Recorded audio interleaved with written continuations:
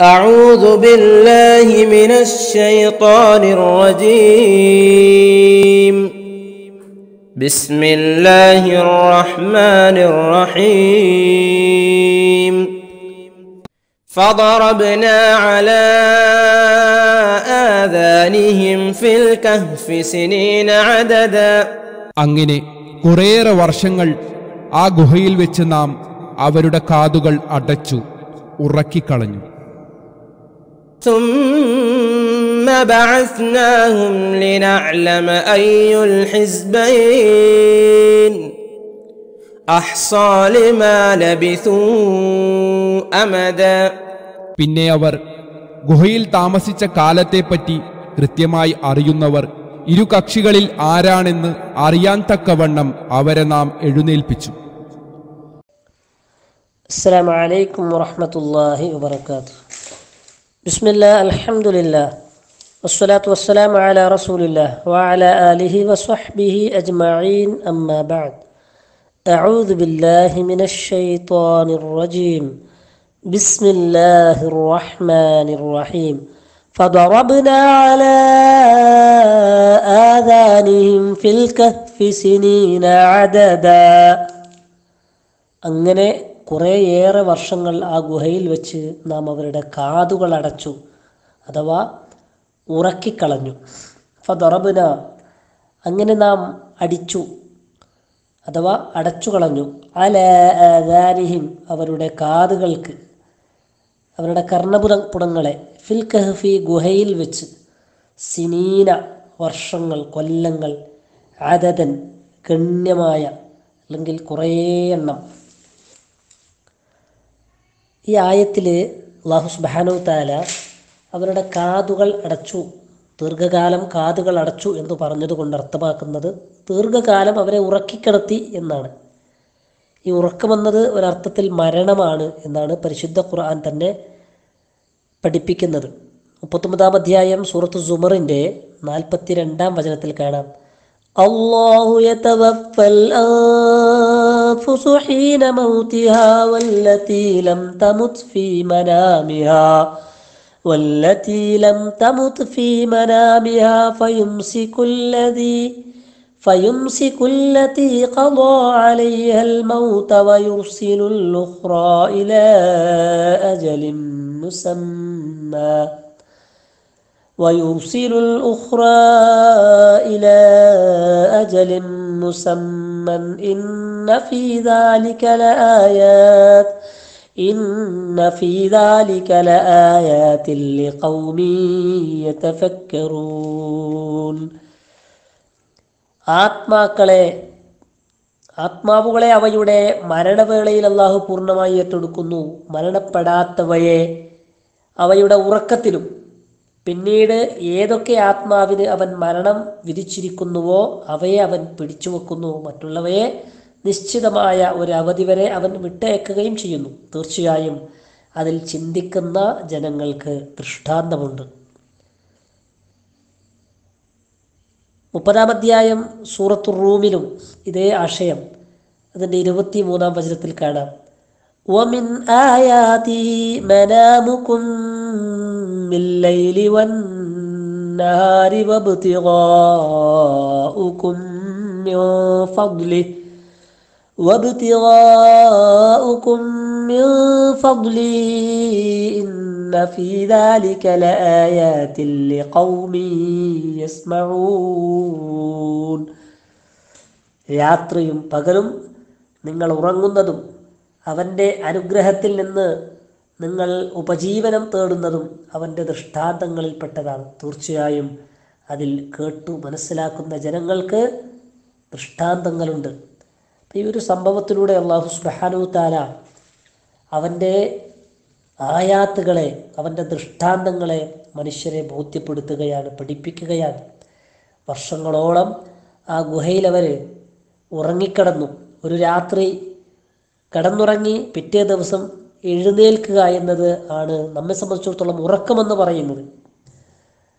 അതിൽ നിന്ന് വ്യത്യസ്തമായി വർഷങ്ങളോളം ഒരാൾ കിടന്നുറങ്ങുക ഭക്ഷണം കഴിക്കാതെ ഉറക്കത്തിൽ നിന്ന് ഉണരാതെ.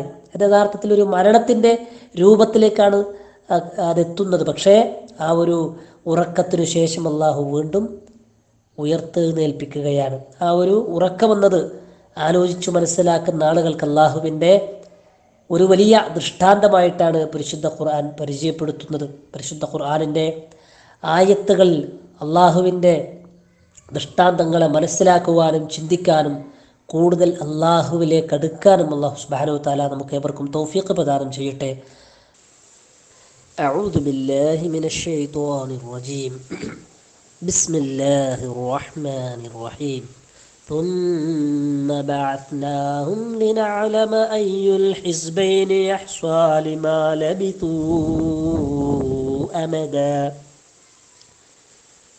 പിന്നെ അവർ ഗുഹയിൽ താമസിച്ച കാലത്തെപ്പറ്റി കൃത്യമായി അറിയുന്നവർ ഇരു കക്ഷികളിൽ ആരാണെന്ന് അറിയാൻ തക്കവണ്ണം അവരെ നാം എഴുന്നേൽപ്പിച്ചു തുമ്മ പിന്നെ അഥവാ പിന്നീട് ബാസ്നാഹും നാം അവരെ എഴുന്നേൽപ്പിച്ചു ലിനാലമ നാം അറിയുവാൻ വേണ്ടി അയ്യുൽ ഹിസ്ബൈൻ രണ്ട് കക്ഷികളിൽ ഏതാണ് എന്ന്.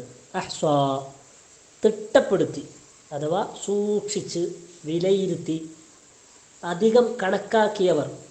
ലിമ ലബിസു അവർ താമസിച്ചതിന് കഴിച്ചുകൂട്ടിയതിന് അമദൻ കാലം. ഗുഹവാസികളെ ദീർഘകാലം ഉറക്കിക്കിടത്തിയതിനു ശേഷം പിന്നീട് അള്ളാഹു അവരെ ഉണർത്തി എന്നത് യഥാർത്ഥത്തിൽ ഉയർത്തെഴുന്നേൽപ്പിന്റെ സംഭവതയെ ഉറപ്പിക്കുന്നതാണ്. അതിലേക്ക് വിരൽ ചൂണ്ടുന്നതാണ്. പരിശുദ്ധ ഖുർആൻ മനുഷ്യ സൃഷ്ടിപ്പിന്റെ വ്യത്യസ്തങ്ങളായ ഘട്ടങ്ങളെ വിശദീകരിക്കുന്ന സൂറത്തുൽ ഹജ്ജിന്റെ അഞ്ചാമത്തെ വചനത്തിലും മനുഷ്യരോട് ഉയർത്തെഴുന്നേൽപ്പിന്റെ നാളിൽ സംശയിക്കുന്ന ആളുകളെ അതിലേക്ക് ഉറപ്പിക്കുകയാണ് ചെയ്യുന്നത്. അള്ളാഹു സുബാനുത്താല മനുഷ്യരോട് ചോദിക്കുന്നു മനുഷ്യരെ ഉയർത്തെഴുന്നേൽപ്പിനെ പറ്റി നിങ്ങൾ സംശയത്തിലാണെങ്കിൽ ആലോചിച്ചു നോക്കുക. തീർച്ചയായും നാമാണ് നിങ്ങളെ മണ്ണിൽ നിന്നും പിന്നീട് ബീജത്തിൽ നിന്നും പിന്നീട് ഭ്രൂണത്തിൽ നിന്നും അനന്തരം രൂപം രൂപം നൽകപ്പെട്ടതും രൂപം നൽകപ്പെടാത്തതുമായ മാംസപിണ്ഡത്തിൽ നിന്നും നാം സൃഷ്ടിച്ചത്. നാം നിങ്ങൾക്ക് കാര്യങ്ങൾ വിശദമാക്കി തരാൻ വേണ്ടി. നാം ഉദ്ദേശിക്കുന്നതിനെ നിശ്ചിതമായ ഒരു അവധി വരെ നാം ഗർഭാശയങ്ങളിൽ താമസിപ്പിക്കുന്നു. പിന്നീട് നിങ്ങളെ നാം ശിശുക്കളായി പുറത്തു കൊണ്ടുവരുന്നു. അനന്തരം നിങ്ങൾ നിങ്ങളുടെ പൂർണ ശക്തി പ്രാപിക്കുന്നത് വരെ നാം നിങ്ങളെ വളർത്തുന്നു. നേരത്തെ നേരത്തെ തന്നെ ജീവിതം അവസാനിപ്പിക്കപ്പെടുന്നവരും നിങ്ങളുടെ കൂട്ടത്തിലുണ്ട്. അറിവുണ്ടായതിനു ശേഷം യാതൊന്നും അറിയാതാകും വിധം ഏറ്റവും അവശമായ പ്രായാധിക്യത്തിന്റെ അങ്ങേയറ്റത്തിലേക്ക് മടങ്ങപ്പെടുന്നവരും നിങ്ങളുടെ കൂട്ടത്തിലുണ്ട്.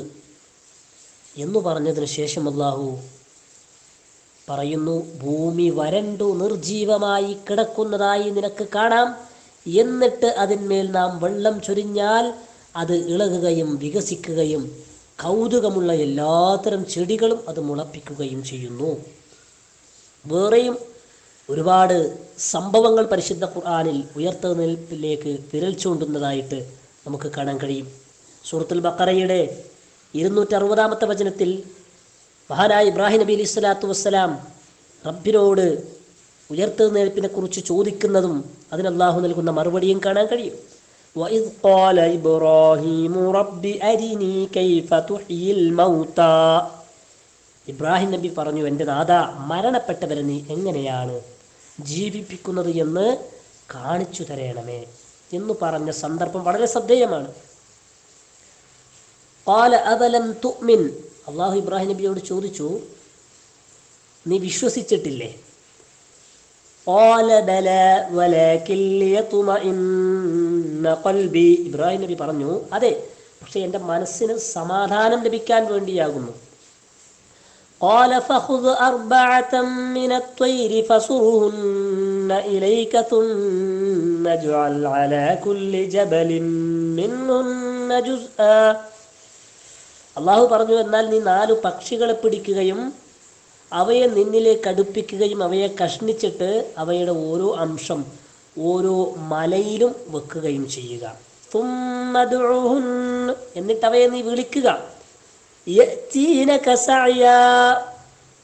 അത് നിന്റെ അടുക്കലേക്ക് ഓടി വരുന്നതാണ് വഅലം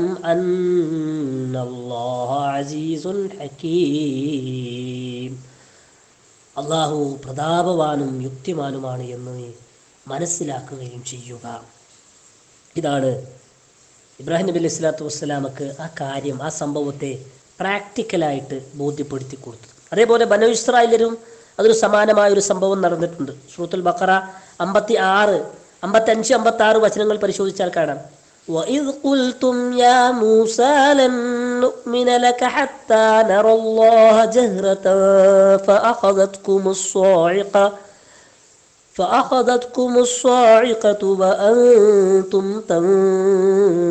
تنظرون ഓ മൂസ ഞങ്ങൾ അള്ളാഹുവെ പ്രത്യക്ഷമായി കാണുന്നതുവരെ താങ്കളെ ഞങ്ങൾ വിശ്വസിക്കുകയേ ഇല്ല എന്ന് നിങ്ങൾ പറഞ്ഞ സന്ദർഭം ഓർക്കുക അത് കാരണത്താൽ നിങ്ങൾ നോക്കി നിൽക്കെ ഇടുത്തി നിങ്ങളെ പിടികൂടി.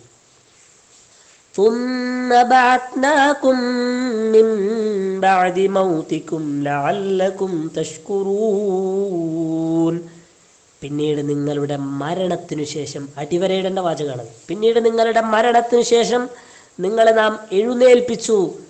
അവർ നന്ദിയുള്ളവരായി തീരാൻ വേണ്ടി. അഥവാ ഒരു മരണം സംഭവിപ്പിച്ചതിനു ശേഷം അവരെ എഴുന്നേൽപ്പിച്ചുകൊണ്ടാണ് അള്ളാഹു സുബാനു താല ബനു ഇസ്രായേലിയർക്ക് ഉയർത്തെഴുന്നേൽപ്പിന്റെ നാളിനെ സംഭവ്യതയെക്കുറിച്ച് അതിന്റെ യാഥാർത്ഥ്യങ്ങളെ അവർക്ക് ബോധ്യപ്പെടുത്തി കൊടുത്തിട്ടുള്ളത്. ഇത്രമാത്രം സുവ്യക്തമായി പരിശുദ്ധ ഖുർആൻ പരാമർശിച്ചിട്ടുള്ളതും റബ്ബ് സുബാനോ താല വ്യക്തമാക്കിയിട്ടുള്ളതുമായ ഒരു യാഥാർത്ഥ്യമാണ് ഉയർത്തെഴുന്നേൽപ്പ് എന്നത്. ആ യാഥാർത്ഥ്യം ഉൾക്കൊണ്ടുകൊണ്ട് ജീവിക്കുമ്പോൾ മാത്രമാണ് ഒരു വിശ്വാസി യഥാർത്ഥ ധർമ്മനിഷ്ഠയുള്ള മുത്തക്കയായി തീരുക. അള്ളാഹു സുബാനു താല ഉയർത്തെഴുന്നേൽപ്പിന്റെ നാളിലുള്ള വിശ്വാസത്തിൽ ഉറച്ചു നിന്നുകൊണ്ട് റബ്ബിനെ ഭയപ്പെട്ട് സൂക്ഷിച്ച് ജീവിക്കാൻ നമുക്ക് ഏവർക്കും തൗഫീഖ് പ്രദാനം ചെയ്യുമാറാകട്ടെ. അഹദഅവാന അനിൽ ഹംദുലില്ലാഹി റബ്ബിൽ ആലമീൻ. വസ്സലാമു അലൈക്കും വറഹ്മത്തുള്ളാഹി വബറകാതുഹു.